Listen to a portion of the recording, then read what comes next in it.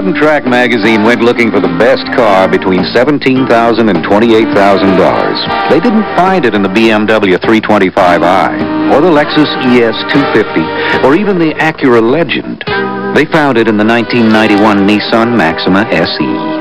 And isn't it interesting that the car chosen above those others is the one priced below them?